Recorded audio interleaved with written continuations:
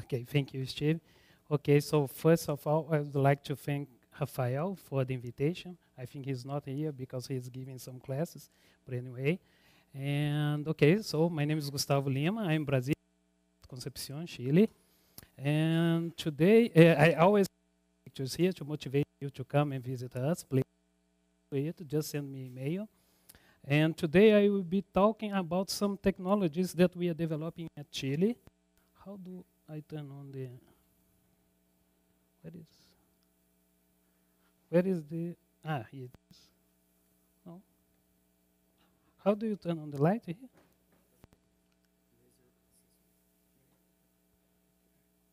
Ah, okay, thank you. Okay, so I will be talking about some technologies that we are developing in Chile more specific, specific, specifically about the, the development of multi-port beam splitters based on multi-core fibers uh, for manipulate, for processing high dimension quantum information efficiently.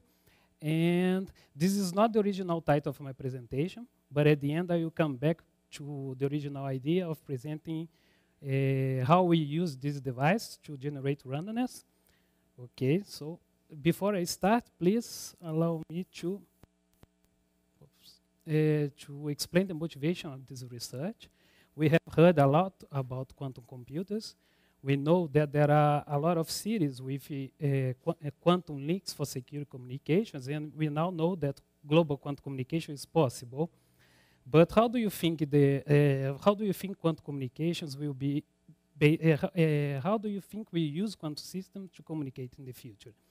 I believe this will be heavily based on the use of qubits. Of course, it would be a waste of time sending one photon and using only the polarization of the photon to encode the information. And, but it's also important to understand how big is the market of classical telecommunication. It's very big. I don't think the companies will, will go anywhere. So they have their own plans for us.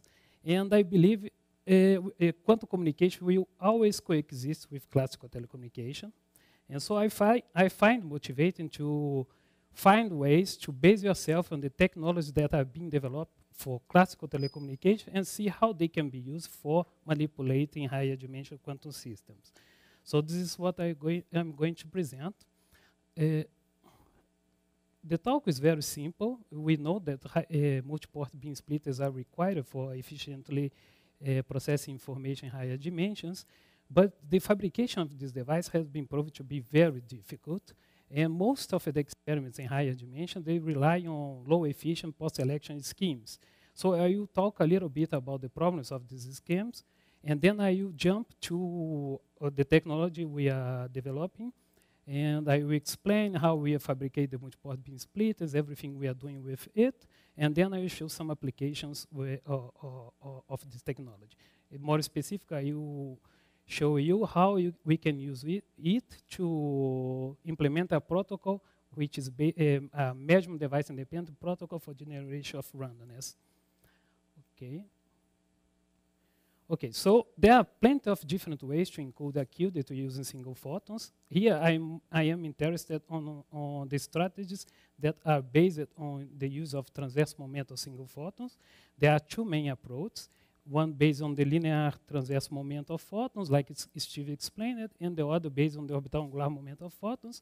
But at the end, they are very similar, so I will be talking, I'm more interested on this one, but they are very similar, so at the end, I, uh, so I will talk about them simultaneously. Okay.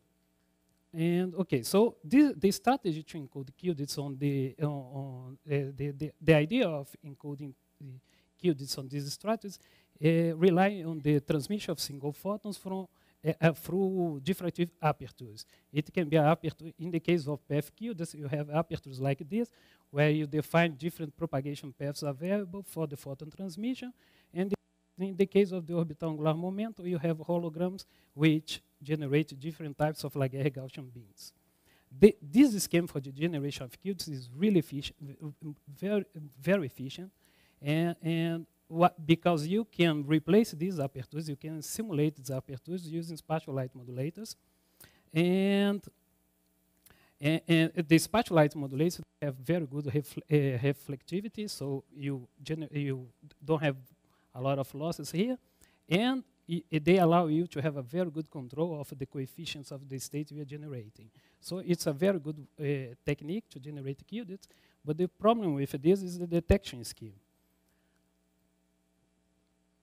Okay, so typically, um, one, uh, typically the experiments with this type of qubits is based on the uh, Alice can use up to two uh, spatial light modulators to prepare the state, and then Bob has to do some strange things here. Bob has a spatial light modulator which will post-select the state to be detected, and then we, uh, he, he needs to resort to a filtering process to, con uh, to conclude the projection with the detection of the photo, the avalanche photo detector here.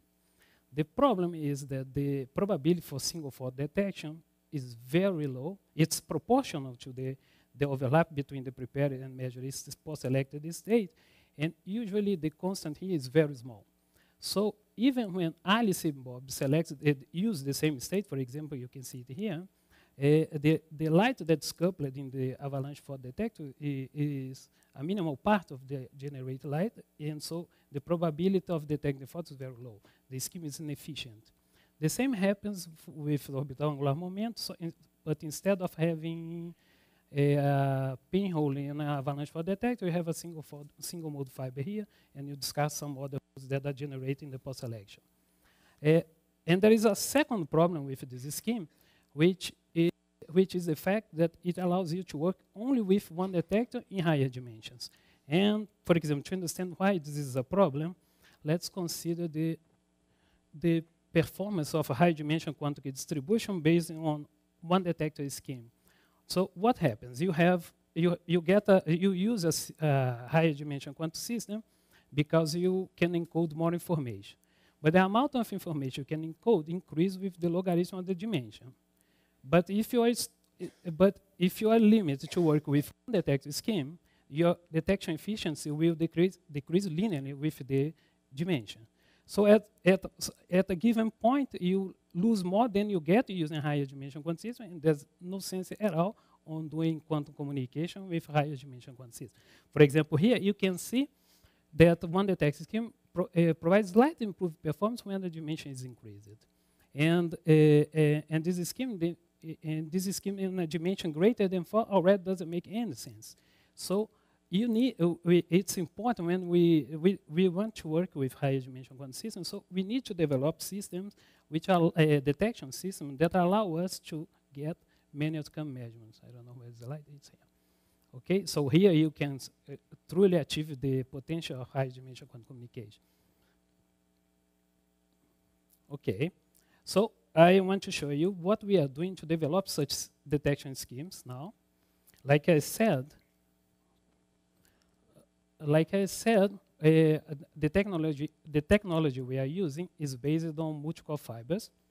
And I like very much this figure. Every time I can, I put it on my presentations because it shows how the amount of information we send through a single mode fiber has increased over the past few years.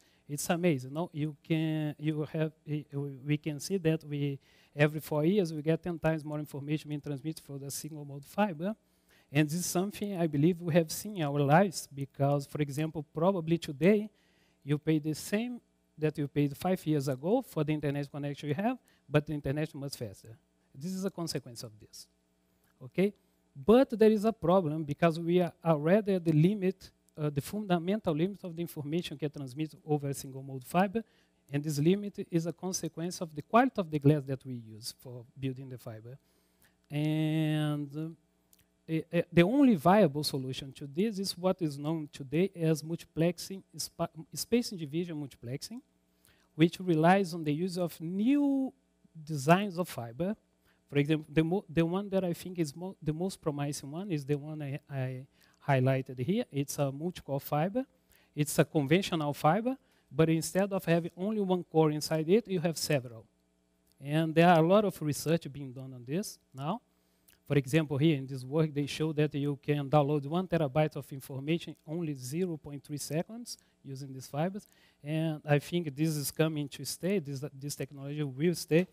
And we have shown we are already doing research with these fibers, and we have shown that these fibers can be used to define and propagate path-qudit states.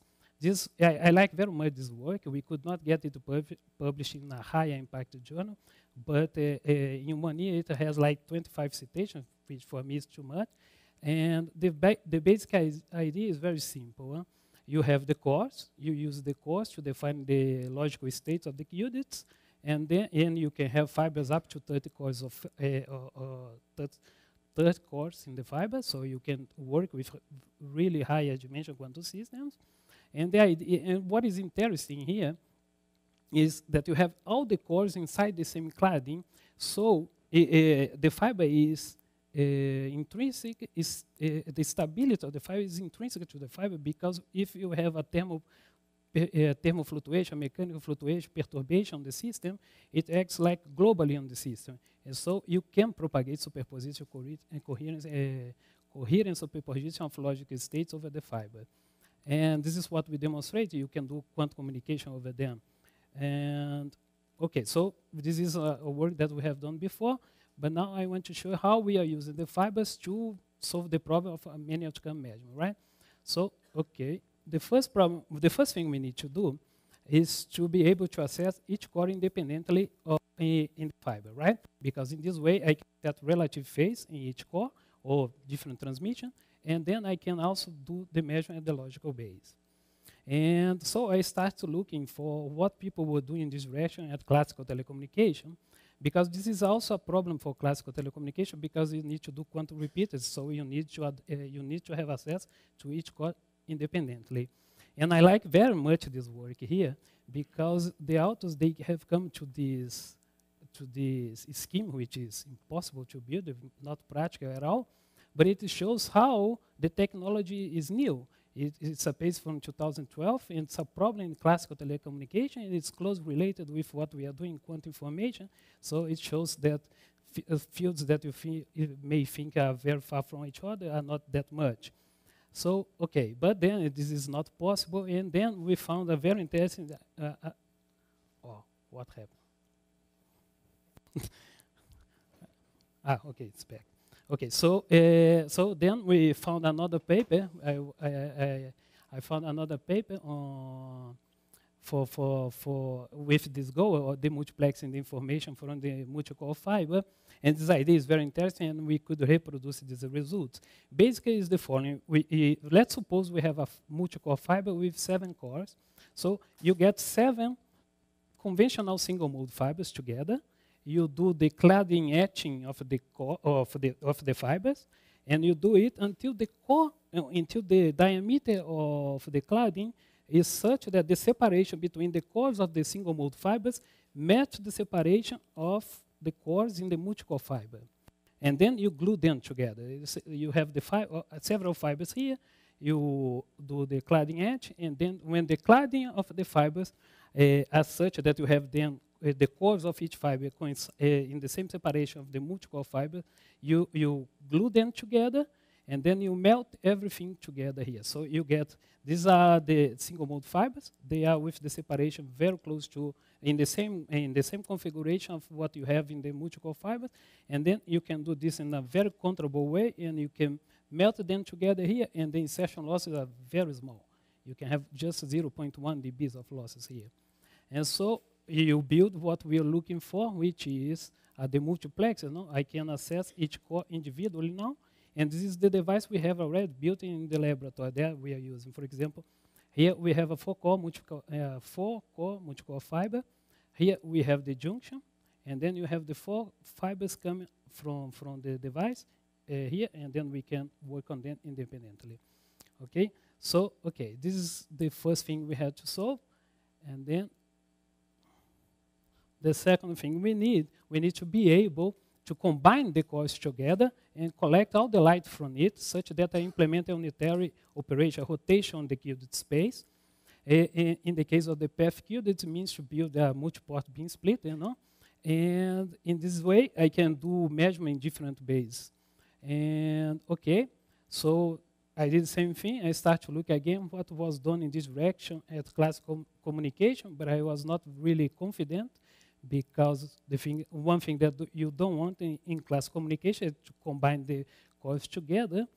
But actually, there were people working in the use of the multi-core fibers to build multipath interferometers.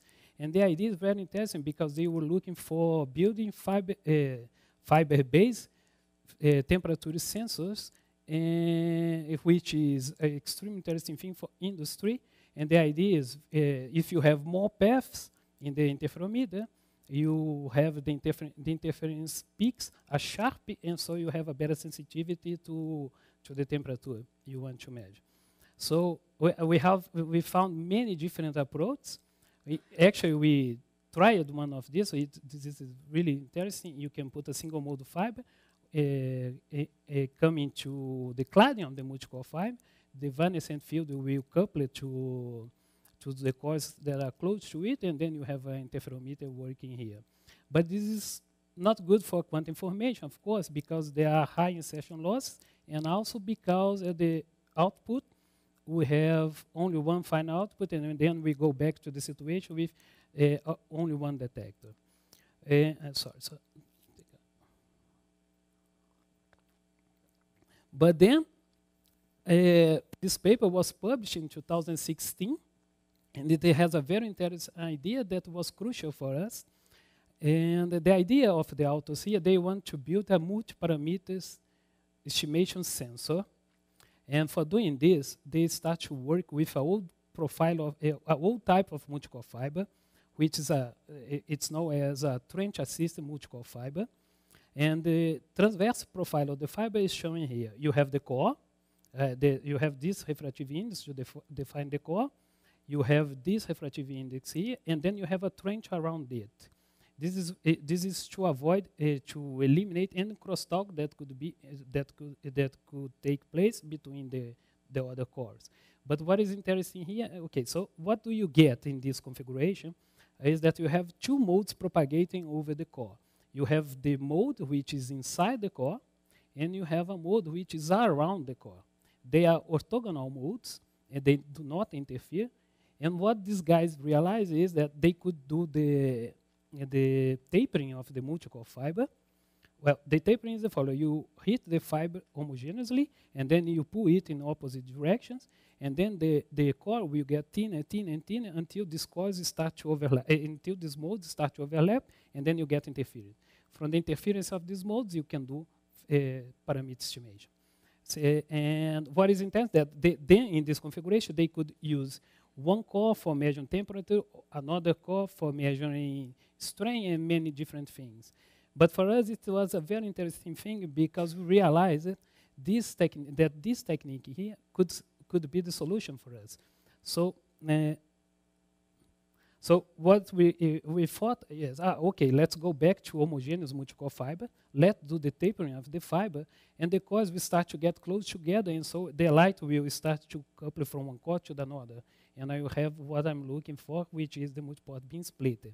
And what is interesting is this, that this can be done in a very controllable way. I can throw light through one of the cores here, do the tapering simultaneously when throwing the light over the fiber, and at the end, keep doing the tapering until I start to get the uh, light at the outputs of the fiber. And I can do it until the light is balanced at the output the, overall loss is really small because there is no junction, there is no, there is no nothing in the path of the fiber. So at the end, you can build a very nice beam split with a very uh, split rate close to a perfect beam split. So this is, uh, the, this is one of these beam splits that we have in the lab, and this is the record average split rate, which is uh, very nice. So, okay, and okay, you can do the model of this beam split. It's something that you know better than me. It's very simple. And it's just a generalization of the, uh, this is a work that was done in the 90s. And I don't think it's important to do it. Uh, we know that the beam split will be a rotation, unitary operation on the system. And I, I prefer to explain to you how we combine all this device we have developed to manipulate higher dimension quantum information. Okay, so uh, this is a very simple vision of the setup. Uh, consider uh, we have a, a attenuate light source coming through. Consider this simple case here with four cores in the fiber. We can have we have We have in the lab now with seven, and we can have with 20 now. But this simple one here, we have we have attenuate light coming through the multi-core fiber here. We use the device to separate the, the cores. I can actuate on each fiber independently using phase modulators as something that is very uh, common in classical telecommunication. So I can prepare this general type of state here. Then I can send it to Bob, which can set different measurement base by varying this phase, and then you can do uh, uh, you, you can set different base and you can do many interesting things. What is interesting here, for example, is that we our technology is totally compatible with the off-the-shelf classical telecommunication technology. And for example, this is really nice because we our phase modulators here they can work at uh, one gigahertz one gigahertz of repetition rate. So for example, in our experiments now, we have in, in 0.1 seconds, we have 7 million detections. So it, this is an interesting application for quantum gate distribution and, and random generation. And also, the overall transmission here is really high. It's 80% because all, every, all components we are using are uh, uh, fabricated for classical telecommunications, so they are almost perfect. Okay. So please let me just show some properties of the setup. Oh, okay, and, and okay. So just some properties of the setup. Maybe you can have an idea, uh, ideas to collaborate. I like very much collaborate. So please, if you do, come to talk with me. So for example, here I can fix the measurement base and I can test the optical quality of the setup, send the states which correspond to the states of the measurement base. So you can see that we can get very high contrast and this means that we can do, we can obtain average visibilities which are very high. This is not a, just an interesting thing. This is for some quantum information protocols, especially the ones based on device, on the device independent approach, this is required. So the setup is nice in this way. And, oh, sorry. And, and also, for example, you can fix the state and place, since you can vary the base, you can do many different protocols. For example, here we have experiment showing how to do quantum tomography with mutually unbiased base. And you get good fidelities too. But you can do many different things. Okay. So let me talk a little bit about the, I don't have much time, so, but let me talk a little bit about the experiment we are doing collaboration with Ivan, which is here. So you have, if you have question about the protocol, you can ask here. Paul and Daniel. The idea is to use our setup to generate random bits. And it's interesting because in principle, we have four outcomes. We can generate two random bits per round of the experiment. And okay, and the idea is to do it in a measurement device independent scenario. What is this? So we, uh, uh, what is the idea here? The basic idea is that I buy a measurement device, I know what it, it, is supposed to do, but I don't trust that it is doing this. But anyway, I want to use it to generate private randomness. So uh, this is uh, so it, it, this is possible. So the, the general vision is like this. I have a state preparation search that I trust. I have a measurement, a device that's supposed to do something. And if, for example, if, uh, if the state is projected on this state here, I get a click here. To this click, I associate a sequence of bits. And if I send a state here, which has an equal overlap with this state, I will in principle generate random bits. But the problem how can I trust that this is not a fake click? I, is it possible to guarantee that the, run, the, the, the, the, that the random bits you generate are private? And this is the, the, the interesting thing that they show that this is possible. And the idea is to div divide the protocol in two events. First, you send the state that will generate randoms. And then in the other event, you send the states which corresponds to each state of the measurement base. This is done randomly. So the guy that is behind the doesn't know when we will be sending different this state. So with this, we can certify the device. You can put upper bound on the guessing probability you have. And, uh, and if the visibility of the uh, experiment is really high, you can generate more randoms than you would be able in a, three, a three-dimensional quantum system, for example. So this is our experimental goal. I am, uh, and, and, and with this, you can certify in a de measurement device independent way that this the bits generated here are private. Okay, this is uh, just, sorry. This is the amount of private runners you certify per round of the experiment. Okay. And so uh, once again, we have the experiment. So it's the same thing. We have setup. We, we have Alice preparing the state. We have Bob here doing the measurements. it's working at 20 megahertz, and just because of the detectors. And then we have some preliminary results. I'm, I'm almost done. Sorry. And so, for example, here the visibility we have recorded in the, in the lab, it's, uh, it's really, really high. It's around 99.38% but we're still not there. But it's really interesting because now we start to interact with this procedure of uh, results and theory, and we noted that since we are working with, uh, uh, with coherent states, sometimes we have coincidence because sometimes we have two photons in the pulse. And then we realize that we don't have only four outcomes, we can have 11 and then if we do the post-selection of the events when we have coincidence, we will be able to generate much more runs than we originally thought. So we are doing this now. So you can, hear, you can see here, for example, that in 0.1 seconds of the experiment, we have like almost set 7 million detections, and some of them, uh, most of them are related with single counts, but then we have coincidence and, and even triple coincidence, and this we can use to improve the amount of runs we are generating. Okay, just to conclude, uh, so, uh, like I said, our motivation is to develop technologies based on what is in class communication and then use them for higher dimension quantum information. This is really nice because you see that new develops in class communication are going to in the direction of using optical links. Mega data centers are going to use links uh, like this one here, silicon photons. No, people are already using silicon photons for processing quantum information, but you see that this type of device are very close connect with new advances that are coming in class communication. So with, you, with this, I thank you for your attention.